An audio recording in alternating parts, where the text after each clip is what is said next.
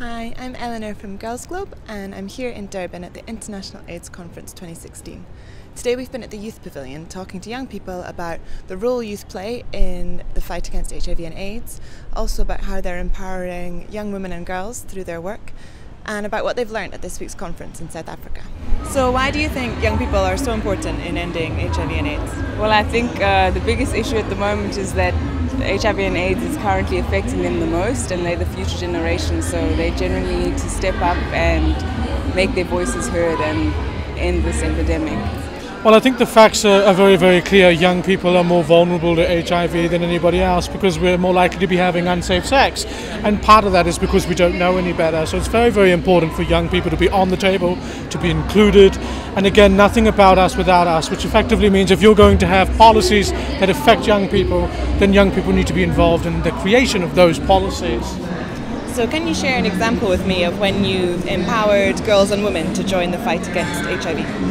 So um, yes, I have one case in particular. There was this young woman living with uh, she she has dis- with disabilities. Okay. So the problem is that the community they didn't necessarily pay attention to her. So she was just left alone after school. She would go home and then just sit there there. So most of the guys they would take advantage of her. They would sleep with her, have sex with her, do whatever that they want to do with her. And then when the people, the, her parents came back home, they wouldn't say uh, they they wouldn't believe her when she said, you know, somebody was touching me like that. And it's very rare for people to to trust a person with disabilities. So what I did is that I went and spoke to the parents that this is uh, things that are happening and this is a real issue. If your child is being treated like this, what if they infect her? What if they kill her one of the days because she is starting to realize that what they are doing is very wrong. So we managed to take her to the clinic, get her tested, and then now most of the special schools in Atteridgeville, we have two special schools. So the special schools that actually paid attention, they teach them comprehensive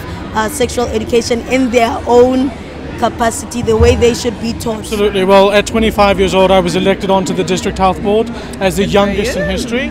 So nobody younger than 25 has ever been elected to a district health board That's in my country, cool. which is very, very empowering for young people because it kind of mainstreams the idea of young people in positions of influence and in positions of decision making.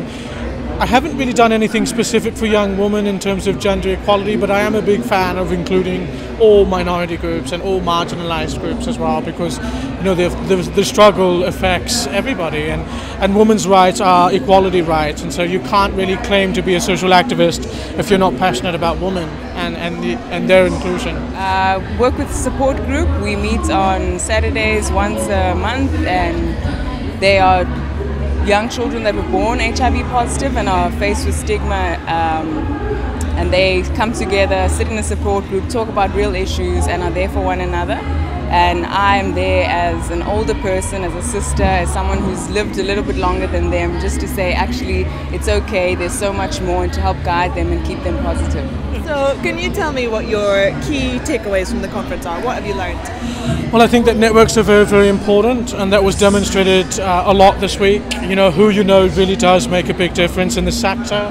Understanding the role of the pharmaceutical industry and the cost of uh, treatment and the cost of advocacy, as well as the role of like governments as well, who tend, to, you know, what they, how they respond to civil society is, is very, very crucial. I mean, if they're accommodating, then the issues are a lot more transparent. If they're if they're very very hostile towards civil society, then I find that you know a lot of activists are at risk.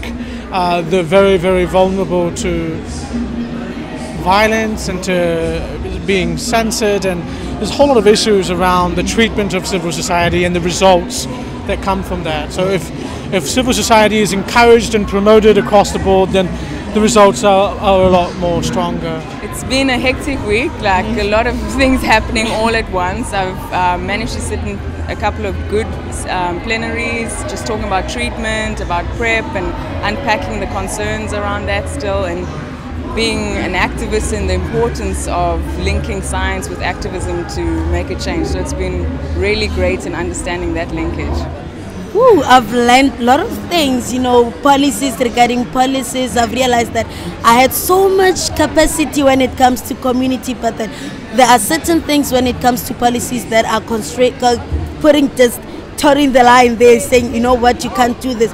So what i've learned is that i need to be part of the policy makers when it comes to decision making. I need to be there so that i can mobilize for my girls i can talk for my girls because some of the policies they're not catering them. They're just saying you, you know what? Just be there. You're not wanted